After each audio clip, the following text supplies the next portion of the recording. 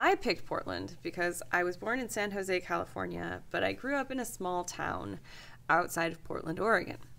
Uh, San Jose, California, I was born in 1980, and it is a very diverse community. I think that it has been for a very, very, very long time, just about since anybody arrived. There's always been a very eclectic mix of people there.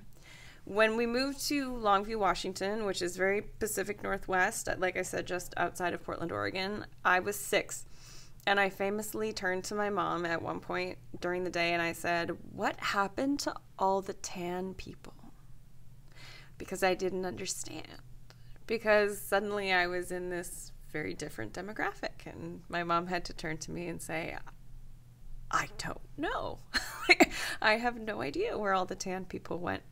And then um, I was attending a day camp, this perfectly innocuous Christian day camp. My parents were very religious, and uh, it was called Vacation Bible School. But it was just a summer, you know, day camp um, where you did activities with other kids at one of the churches in this small town during the summertime. Um, and I sat down in a church pew, getting ready to sing one of the hymns. And as you can see, and as those on the radio cannot, I am not a person of color in any way. Um, on my mom's side, really far back, there's some strain of um, Native American um, from the Ute tribe. And when I was born, actually, you couldn't tell my pupil from my iris at all. I've, I've barely ever had a sunburn in my whole life. So here I was moving from San Jose to this little lumber town um, where it rains, you know, every day. And I was not the same color as everybody else. So I sat down in this church pew, and um, very quickly, the kid next to me turned to me and said, Ew, I don't want to sit next to a Japanese girl.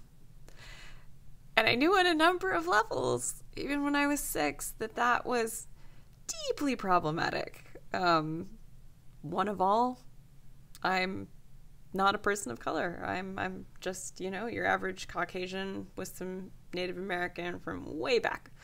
Um, two of all, if I had been Japanese, I would have thought, wow, they have a really hard time hereabouts. And three of all, I was like, you little, etc.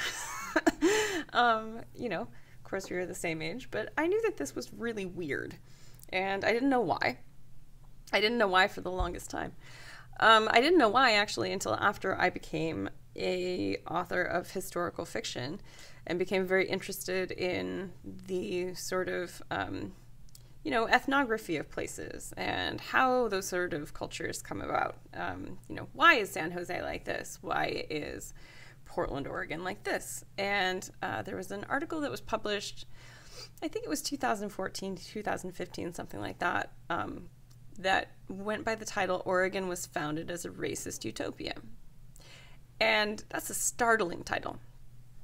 I looked into it and I discovered a very, very large number of things about Oregon's history that were deeply, deeply troublesome. And I discovered that, you know, I, I thought, well, all of my books are in some way to do with people being other than other people and how do we get along? How do we learn to relate to each other? All of my books include people of color. All of my books include queer people. All of my books include people from this you know whole you know from from just the whole it's not really a melting pot but from the tossed salad that is america.